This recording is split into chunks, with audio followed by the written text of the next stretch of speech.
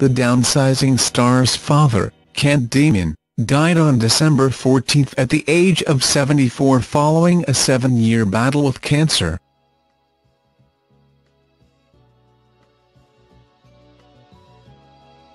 Matt's dad had been fighting bone marrow cancer since 2010, but his health took a turn for the worse as multiple myeloma spread through his body.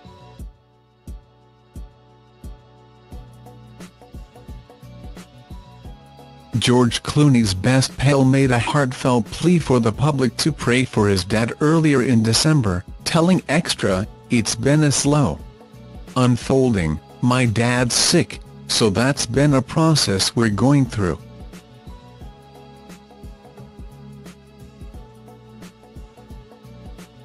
We'll take any prayers you got, so throw 'em up there. The news comes after the Hollywood star pulled out of the BAFTA Britannia Awards in October and rushed to buy his father's site in his hometown of Boston, Massachusetts.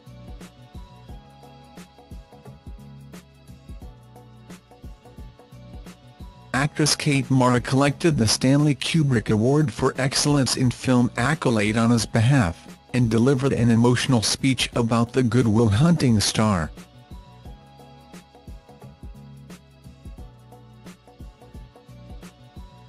Unfortunately Matt has urgently needed to travel to Boston and couldn't join us tonight. As much as we wish he was here with us, we know family comes first. So our thoughts are with you, Matt, and much love from your friends here in LA.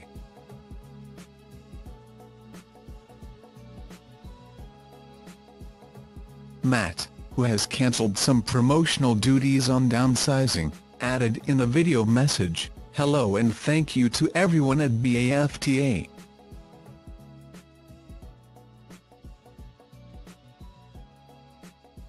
I found out about this award six months ago and I was just so incredibly honored to receive it and I was really looking forward to tonight.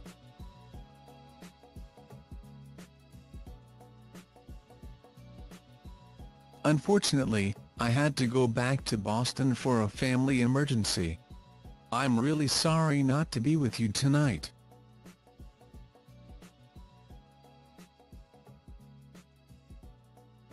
Thank you for this wonderful honor and I hope you have a lovely evening. See you soon.